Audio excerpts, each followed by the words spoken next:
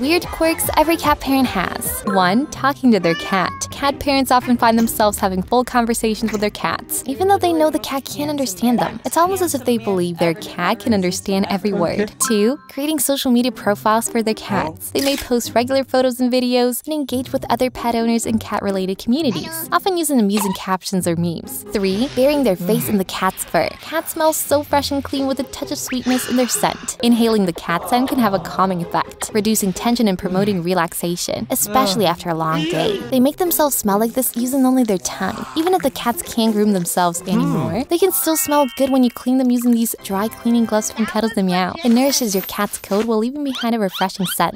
4. Taking endless photos. Cat parents can't resist capturing every cute moment, from playful antics to peaceful naps, and eagerly share them with anyone who will listen. Are you guilty of any of these? Let us know.